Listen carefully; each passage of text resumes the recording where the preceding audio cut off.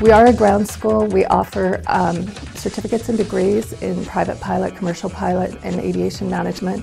It's a wonderful opportunity for you to transfer to a four-year college. If you're going to be a commercial pilot, um, you can start here, do your first two years here, and then transfer to a four-year university so that when you go to the airline and you apply, they're looking for aviation experience, but they're also looking for a college degree.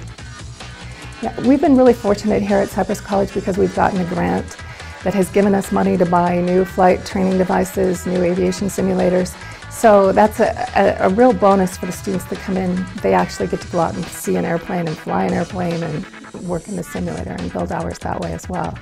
Cypress College not only gave me a great foundation for my flying experiences that came afterwards, but it also saved me a lot of money as well. You can spend a lot of money doing nothing and kind of spinning your wheels. But at Cypress College, they gave me direction, they gave me insight. There was always instructors there that were willing to give me you know, a little of their time to, to make sure that I got my goals completed.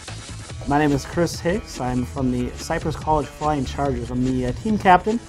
What the Cypress College Flying Chargers is all about, we're a flying team that competes uh, in different uh, events uh, versus different colleges. The flying team is uh, one of the greatest uh, things I've ever done. I've got to know a lot of people Uh, and really uh, hone my skills uh, here at, at Cypress College. I think Cypress College is has a great program for the aviation field. There's many different things that students can go into as to become a flight attendant or actually get your pilot's license on the side. I personally, I love it here. I mean, lots of people and the instructors actually know what they're talking about and it's a lot of fun. You meet lots of people and I enjoy it here.